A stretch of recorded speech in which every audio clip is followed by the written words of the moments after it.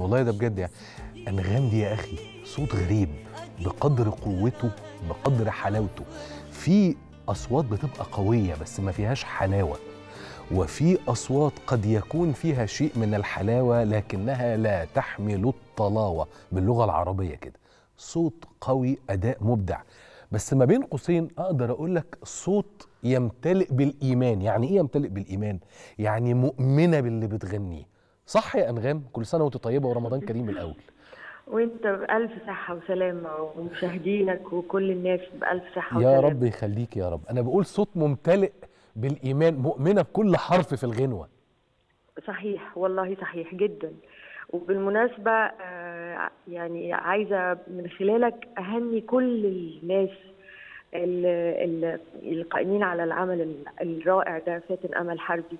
بداية طبعا من أستاذي والراجل اللي أنا بحترمه جدا الكاتب الكبير أستاذ إبراهيم عيسى. اللي كاتب موضوع الحقيقة قوي جدا جريء جدا وأنا صح. سعيدة جدا باللي بتفرج عليه. وفرحانة بيه وحاسة إنه هيغير شيء إن شاء الله. وبهني ال- ال- المخرج محمد العدل ونيلي كريم.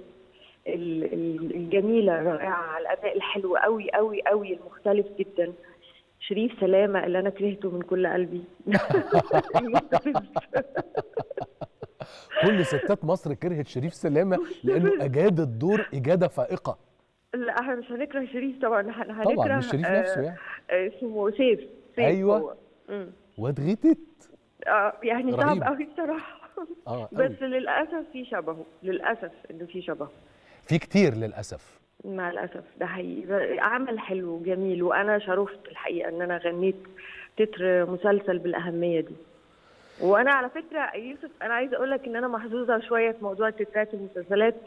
يعني ربنا مديني نعمة إنه بيختاروني في الأعمال الهامة من زمان.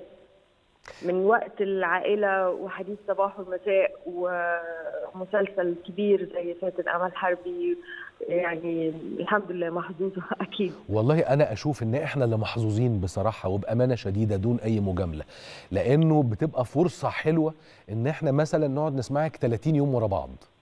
دي فرصة حلوة. وأنا من المؤمنين دايما بإنه تتر المسلسل لما بيتغنى حلو بيديلنا انطباعات أحلى وأحلى. يعني بيعيشنا في جو المسلسل مظبوط.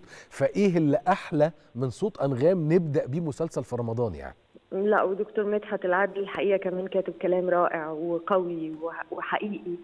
وفي كده إلهام. يعني ده اللي عاجبني إنه ملهم جدا الحقيقة يعني. بس كده دايما أنغام هتتحط في المربع بتاعة إيه؟ اللي هي إيه؟ المطربة التي تواجه الراجل الظالم المفتري. دايما والله. ما دي مش أول غنوة أصلا؟ لا والله ابدا. ما إحنا لازم نبقى مع يعني السيدات ال- اللي بيعدوا بال بال- بالظروف ال- ال- القاسية دي لازم نبقى جنبهم ونعبر عنهم والستات اللي برضو أمورها كويسة وبتعرف تدلع تد- ندلعها برضو ما يجراش حاجة. مفترض مفترض مفترض. آه أنا عايز أشكرك جدا جدا جدا على الغنوة. أشكرك بجد شكرا حقيقي. شكرا للمبدعين طبعا دكتور مدحت العدل و- وأحمد العدل الملحن ونادر حمدي. شكرا ليهم. هم قبل مني يعني هم اللي ابدعوا الحقيقة وأنا كنت محظوظه اني غنيت العمل ده. مين بقى اللي كلمك؟ هل أستاذ جمال العدل ولا مندو ولا دكتور مدحت. ولا إبراهيم عيسى؟ مين؟ دكتور مدحت اللي هو اللي كلمني. وبعد كده لما غنيت وسجلت يعني حطيت صوتي على التتر أستاذ إبراهيم بعت لي تهنئة الحقيقة ما تتنسيش يعني.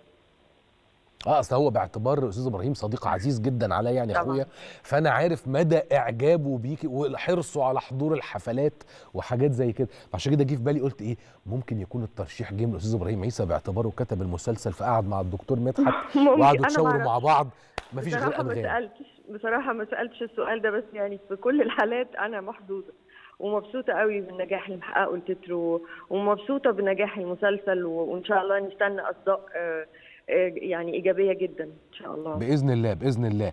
إحنا نشكرك فعلا على إنه غنيتي تتر المسلسل ده لأنه ما كانش حد هيعرف يغنيه غيرك بصراحة يا الله يحفظك. وأشكرك على. المداخلة. ولسه قاعد. عمال بحلم أنا بال- باللقاء المؤجل بقاله يجي سنتين ده. معاك حق. هو إحنا كان في يعني الظروف بقى ربنا ما يعيدها بس خلاص الدنيا بتتحسن اهي. خلاص اهو. وهنبقى زي الفل إن شاء الله. ماشي. بإذن الله. تنورينا. وتشرفينا. لما وقتك يسمح إن شاء الله. ألف ألف يسعدني. ألف شكر ليكي. وتهانينا مرة تانية. شكرا لحضرتك. شكرا ليكي جدا يا انغام ألف شكر.